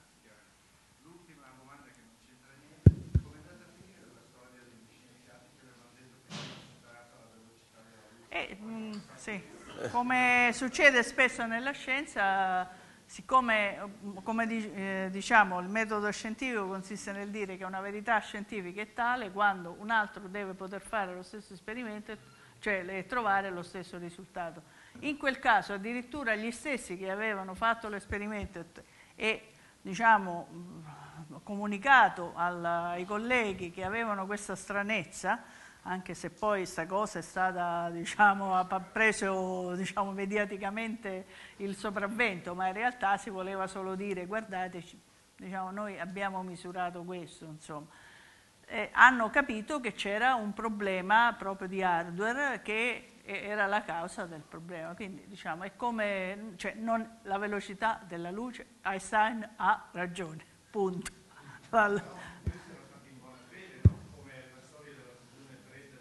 No, no, no, questa era fatta in buona fede, poi che sia stata anche mediaticamente forse gestita male, quello, o, o, meglio sfuggita di mano perché era un argomento talmente grosso, perché tutti sanno che la velocità della luce non può essere superata, quindi...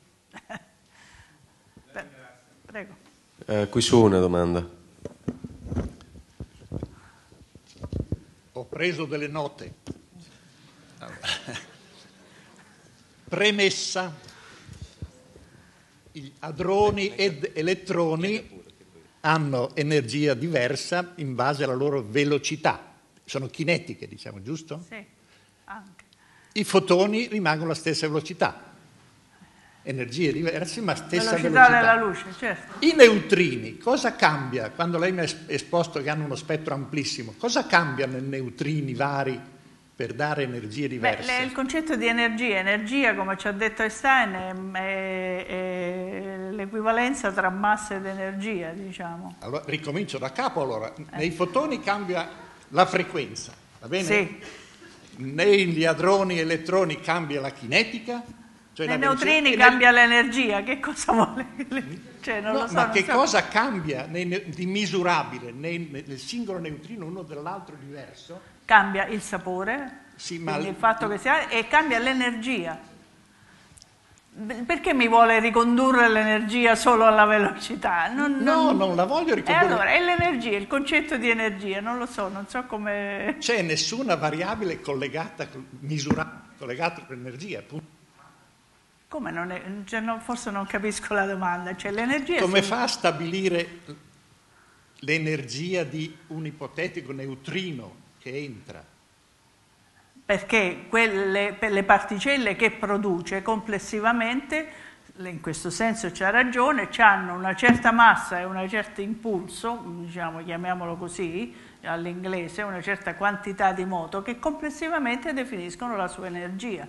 Quindi io misurando la traiettoria, misurando eh, quindi come si muovono e diciamo al, con la quantità di moto, se vuole con la velocità con cui si muovono, risalgo all'energia del neutrino. L'energia del neutrino, il neutrino non lo posso misurare direttamente, va bene? Se non interagisce non riesco a misurarlo. Lo misuro attraverso le traiettorie e fa, me la faccia dire la velocità, se vuole, dei, eh, dei prodotti della interazione del neutrino. Ho risposto? No. Sì ma rimane un fantasma. Beh, quello comunque. Ecco, quello comunque. C'è un'altra questione piuttosto semplice. I fotoni vengono modificati nelle loro traiettorie dalla gravità. Dico bene? Certo. I neutrini? Anche.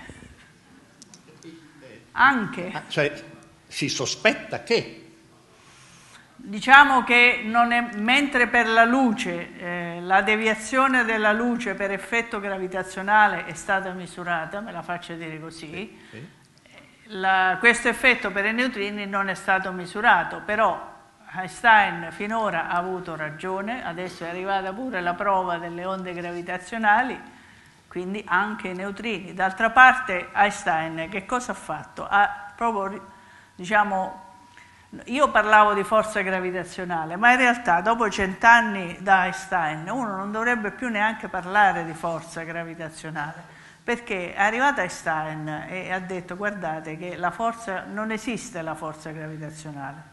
Lui ha rivoluzionato lo spazio-tempo, il concetto di spazio e di tempo. Noi come ce lo immaginiamo lo spazio?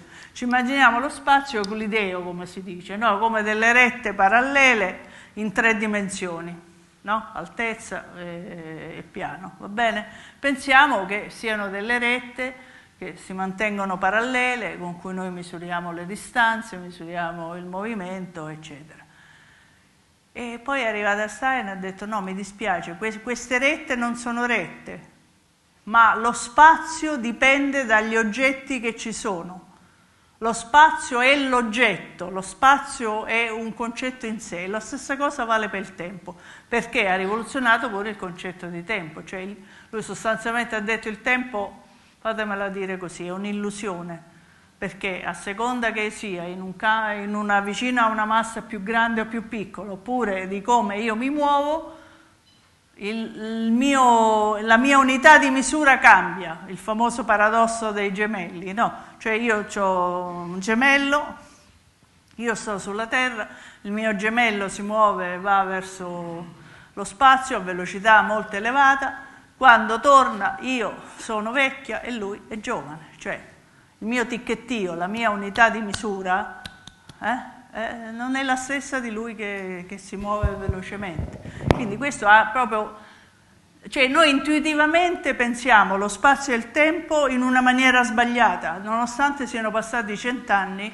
da, uh, da Einstein. E solo i poeti o gli scrittori hanno intuito perché posso citare più di uno scrittore che parlando del tempo dà delle definizioni che effettivamente è impressionante quanto siano più simili alla, alla teoria della relatività generale, che è un'ennesima dimostrazione che la cultura è una, quindi quando certe idee girano nel mondo, nel, nel pensiero degli uomini, non sono così bolle isolate, ma è tutto il tessuto culturale che in qualche maniera pensa in maniera diversa. Posso intervenire allora un'altra volta?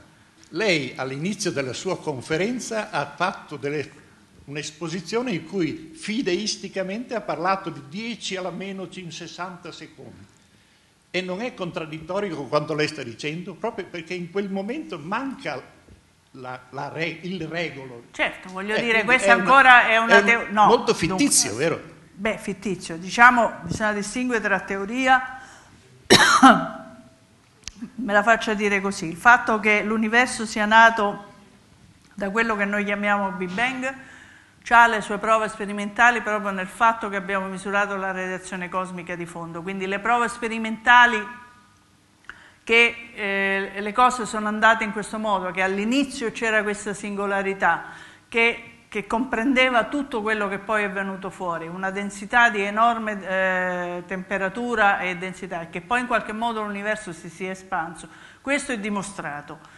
Poi certo, che cosa è successo in quei primissimi istanti? Ovviamente questo eh, diciamo, è ancora a livello teorico, tanto più che io con gli acceleratori oppure con, eh, studiando eventi rari nei laboratori sotterranei posso risalire indietro nel tempo fino a un certo punto, non all'età di Planck come si dice, quando tutte le forze erano diciamo, indistinguibili fra di loro.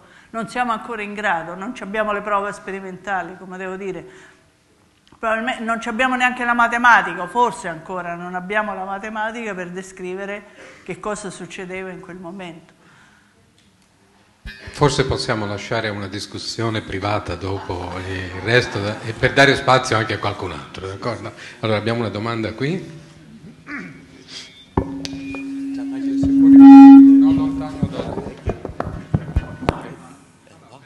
Però poi non sentono gli altri.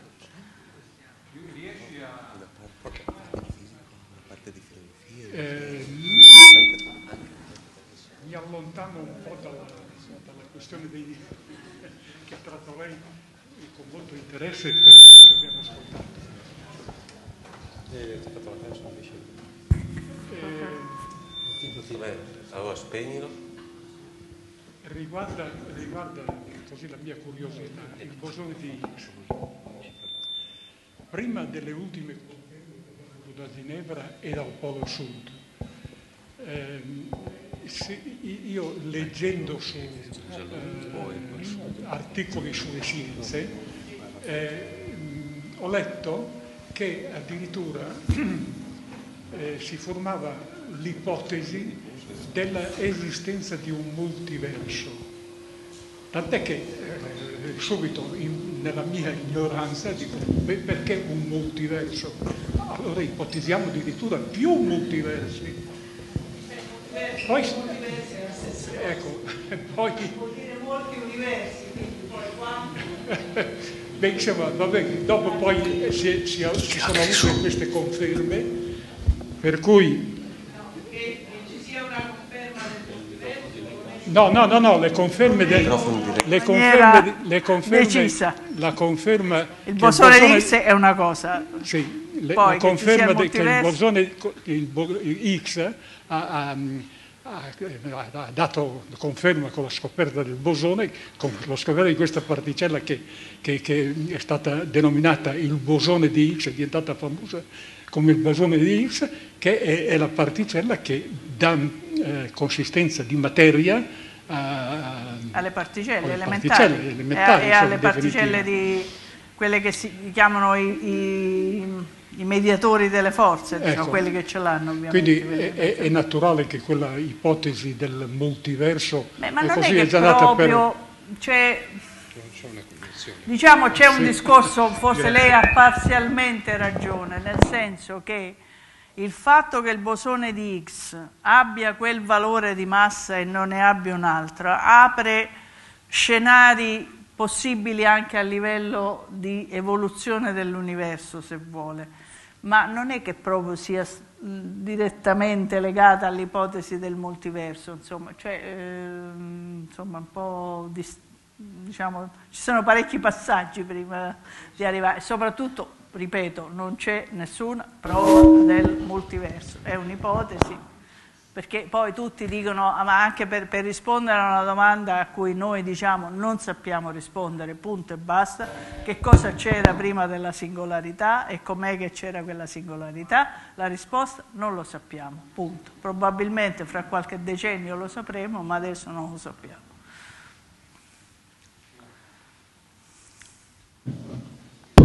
C'è una domanda da casa, Lucia, qua su. Certo. Dimmi. Allora, Chiede Antonio, il neutrino non ha carica elettrica, quindi non ho capito bene la differenza tra neutrino e antineutrino. Per l'elettrone il suo opposto è il positrone, nel neutrino che fa la differenza è lo spin? Non solo, cioè eh, la, la, l'antiparticella ha caratteristiche opposte alla particella, ma non solo dal punto di vista della carica elettrica, di tutte le possibili tipi di cariche che dipendono dalle cariche sono legate al tipo di interazione, al tipo di forza. Quindi poi in realtà veramente non sappiamo se neutrino ed antineutrino poi coincidono, perché questa è l'ipotesi di, di Majorana, ma c'è l'ipotesi di Dirac invece che dice che sono, che sono diversi. Fra l'altro questo del neutrino e antineutrino che coincidono potrebbe essere una spiegazione o, o contribuire a spiegare perché l'universo perlomeno per quello che noi sappiamo oggi, a meno che non scopriamo nel futuro delle galassie fatte tutte di antimateria, ma insomma per il momento sappiamo che in stragrande maggioranza l'universo è fatto solo di un tipo che chiamiamo materia. E, diciamo, questa caratteristica del, diciamo, della coincidenza tra neutrino ed antineutrino potrebbe in parte spiegare eh, com'è che si è creata nei primissimi istanti questa dissimmetria per cui eh, diciamo, è rimasto solo una e non, e non abbiamo più tracce dell'altra. Però insomma non bisogna pensare solo in termini di carica elettrica, la carica elettrica è una carica, diciamo in questo senso, una carica, una caratteristica legata alla forza elettromagnetica, però siccome non esistono solo le forze elettromagnetiche, quindi esistono, mettiamola così, anche altri tipi di cariche. Va? Ci allontaniamo per fare una domanda perché questa sera le casse ci creano dei problemi. Eh, la domanda è stata in parte fatta, però volevo chiedere per capire meglio, dato che noi conosciamo adesso che Il neutrino ha un'oscillazione, quindi cambia di sapore. Però lei prima ha detto che dalla Terra escono dei neutrini, anzi che sono antineutrini. Volevo capire se invece quelli che riceviamo dallo spazio sono solo neutrini normali, di tipo E, tau, eccetera. Eh, no, diciamo dallo spazio, per esempio nei raggi cosmici ci sono anche gli antineutrini, non, non, è vero, insomma, in qualunque interazione, diciamo, la, la, le antiparticelle, l'antiparticelle, non diciamo antimateria, le antiparticelle sono create nelle interazioni, anche agli acceleratori si creano antiparticelle. Siccome i raggi cosmici sono delle interazioni che, ad altissima energia che avvengono nell'atmosfera, anche lì possiamo avere creazione di antiparticelle, quindi antineutrini se ne trovano anche nei, nei raggi, nei, insomma, nell'atmosfera, tra i raggi cosmici. Quindi... Possiamo ancora una? Possiamo ancora... Certo, per me va benissimo. Sempre da casa ce n'è una, ce n'è una anche giù? Va bene, parla pure. Io volevo sapere, eh, visto che la, la massa dell'universo è in percentuale mh, non sufficiente per, mh, cioè per la massa dell'universo, per cui si parla di energia oscura e di materia oscura. La massa del neutrino cambia questa proporzione a... oppure... Eh, dunque, ehm, io, vedete, baldanzosamente, ancorché con alcune limitazioni, dicendo guardate attenzione che il modello standard eh, descrive tutto, però per esempio già non ci spiega perché il neutrino ha una massa, e, e, vedete è stato dato il premio Nobel, il bosone di Higgs, poi però come sempre succede più uno impara, più sa, più conosce, più come diceva il saggio sa di non sapere e allora eh, abbiamo sempre negli ultimi decenni, insomma non, non da moltissimo tempo, abbiamo scoperto che questo bel castelletto teorico eh, pratico del modello standard delle particelle elementari e delle interazioni si applica solo al 5% del bilancio energetico dell'universo. Vi ho sconvolto, eppure è così.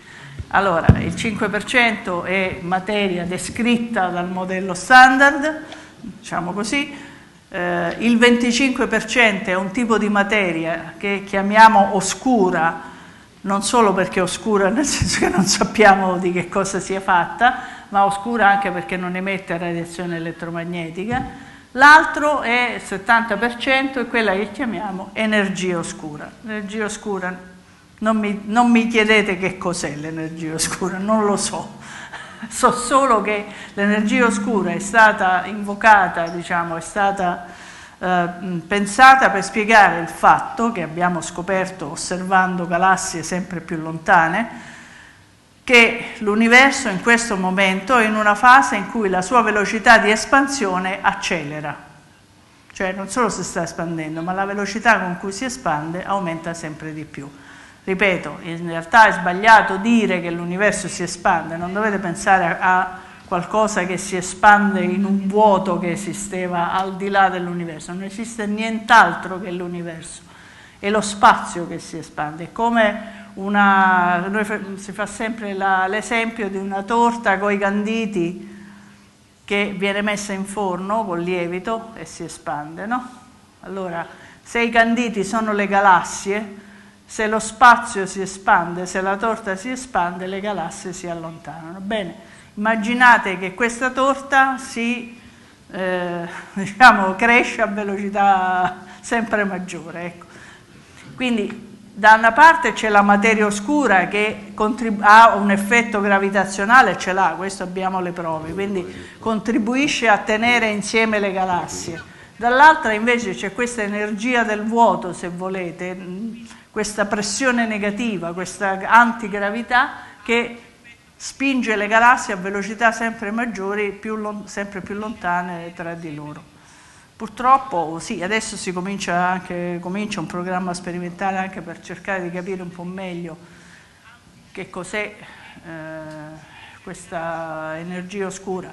Sulla materia oscura i laboratori sotterranei hanno parecchi esperimenti, pure al Gran Sasso, che cercano di capire qual è la natura di questa materia oscura. Ci sono delle ipotesi E l'attacco è triplice, perché eh, al Gran Sasso e negli altri laboratori sotterranei si cerca di praticamente di misurare una interazione, uno scattering diretto, una, un, diciamo un urto diretto tra la materia oscura che sta pure qui, sta ovunque, insomma, con, sta intorno alle galassie, a tutto, a, al Sole, a, a tutto, con la materia ordinaria. Quindi quella sarebbe la rivelazione diretta.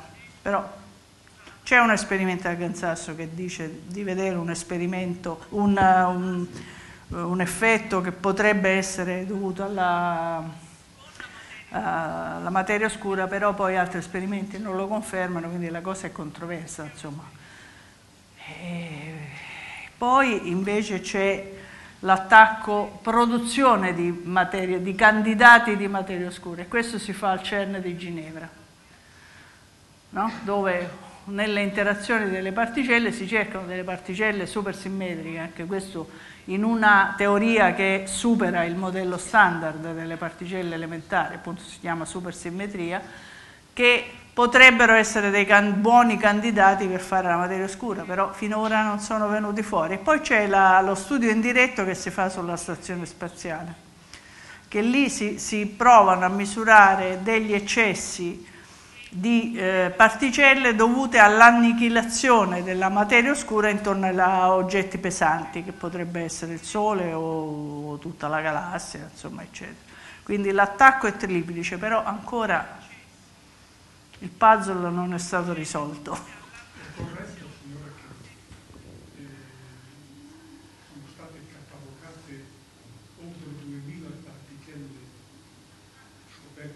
Sì, sì, però tutte quelle particelle che però hanno vita media breve, diciamo, però eh, sono sempre riconducibili a quei mattoni fondamentali. C'è una domanda, un'altra da casa, qui sono. Sì. La forza gravitazionale, secondo la relatività generale, è provocata dalla deformazione spazio-tempo. Sì. Secondo la meccanica quantistica, dallo scambio di gravitoni, particelle virtuali concepibili solo dal punto di vista quantistico. Riusciamo a mettere insieme le due teorie? Chiedetelo a, Ci vuole una Rovelli. conferenza. Ci vuole una conferenza. quando, quando verrà Rovelli qui ve lo spiegherà. No, adesso parte la battuta, ma eh, in realtà la, la, vedete che nel modello standard delle particelle elementari io ho citato sulla destra c'erano i mediatori delle forze, ma erano i mediatori di tre delle forze fondamentali. La gravità nel modello standard non è descritta perché la matematica, che è la meccanica quantistica o le simmetrie che, quello che è, che descrive il modello standard, diciamo, e la matematica della relatività generale son, non, si, insomma, non, non siamo riusciti a conciliare, non siamo riusciti a descrivere il tutto con un'unica matematica, un'unica simmetria, eccetera. Naturalmente ci sono delle ipotesi, ho detto la battuta su Rovelli perché Rovelli è proprio uno di quelli che studia sulla quantizzazione della, della gravità, che insomma, dovrebbe essere il, primo passo, insomma, il prossimo passo per riuscire a unificare. Speriamo di riuscirci a breve. Eh, ma è difficile, quasi quanto invitare Rovelli a tenere una conferenza per i venerdì. Abbiamo una domanda qui, poi vengo da lei un attimo solo, se ha un attimo di pazienza. Sì, era nella stessa stesso direzione, però un po', de, un po' fuori moda in questo momento. Dottoressa, buonasera. Innanzitutto un interesse privato. mi prenoto per una dedica sul suo libro. quando è finito tutto. E una domanda un po' così strana, un po' fuori dagli schemi. E, dunque, nella bibliografia del suo libro lei non cita Frank Close, il neutrino. Vorrei capire perché, se non credo sia ignoranza, insomma, a parte no, nel senso guardi, che ignoro, ignoro, devo dire che no, soprattutto mi faccia spiegare perché, perché è un grandissimo sponsor di Bruno Pontecorvo, no? addirittura sì, sì, sì, eh, sostiene che è meritevole non di uno ma di due premi Nobel eh, per le sue intuizioni che hanno diciamo, un po' preceduto i Nobel attuali. E poi un'altra cosa, sul numero di febbraio delle scienze, sì. con, sotto il titolo Lunga vita all'elettrone, c'è uno studio di Borexino, che lei sicuramente conoscerà, che fa una stima della vita dell'elettrone che è di 66 miliardi di miliardi di anni, no? che quindi siamo molto al di là dei 13 miliardi e 700 milioni di anni per fortuna nostra. Della, della vita dell'universo. della vita dell'universo. Eh, cioè, come siamo messi col Big Bang a questo punto? E anche con un altro principio che viene contraddetto, cioè con il principio della conservazione dell'energia, perché sembra che l'elettrone si trasformi in un neutrino e in un fotone eh, allora dov'è il principio di non conservazione? Si conserva e come? Conservazione. Grazie, dottoressa. No, dunque, sulla bibliografia sarà un mio errore. Guardi, io la bibliografia l'ho fatta veramente, confesso, veramente di, con grande malavoglia, proprio non, non, non avevo voglia di farla la bibliografia. E si vede, e si vede perché è, è molto frammentaria, così alcune, molte cose non ci sono, altre magari potevano essere elevate, quindi quello è veramente una diciamo, un, un, mio difetto, come devo dire, un mio... Eh, no, no, non c'è un perché, no, assolutamente non era, diciamo, non c'è nessun motivo, è proprio o una dimenticanza o non lo so, insomma. Cioè, assolutamente, è uno dei più grandi fisici che ci sono, quindi assolutamente non... non Sull'elettrone non è vero che non sia, in caso diciamo non è che non si, si conserverà, però insomma beato che c'è un occhio come si dice per vedere il decadimento dell'elettrone.